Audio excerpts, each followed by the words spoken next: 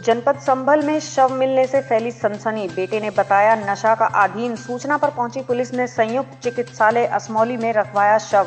दो दिन पहले घर से सौ रुपए लेकर के आया था युवक। पुलिस की सूचना पर परिजन पहुँचे असमौली संयुक्त चिकित्सालय। मौत का कारण स्पष्ट नहीं है। मुरादाबाद डबल फाटक पुल के तरफ़ का बताया जा रहा है। खाई निवासी, दूसरे गाँव नज़दीक शव के डेढ़ किलोमीटर दूर। युवक की पड़ी मिली बाइक मालपुर मिलक गाँव के नज़दीक। मुरादाबाद संभल बॉर्डर थाना असमौली क्षेत्र की घटना। बताने इसके बारे में क्या है? हाँ जी। ये जो घटना हुई है इसके बारे में बताना क्या हुई?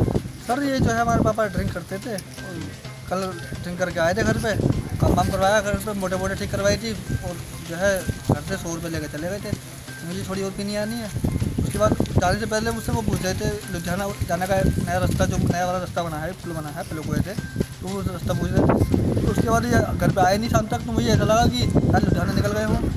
एफ़ टी पे ड्यूटी पे और सुबह रात फ़ोन मिला ही नहीं रात फ़ोन करा तो स्विच ऑफ़ बताया फ़ोन सुबह इनका जो है हमें पता चला पुलिस पुलिस द्वारा इनका ऐसे ऐसे ये हिस्सा हट चुका है। हम्म, यहाँ पे हमने आके देखा तो इनकी हमें मृत्यु हालत मृत्यु हालत में मिली।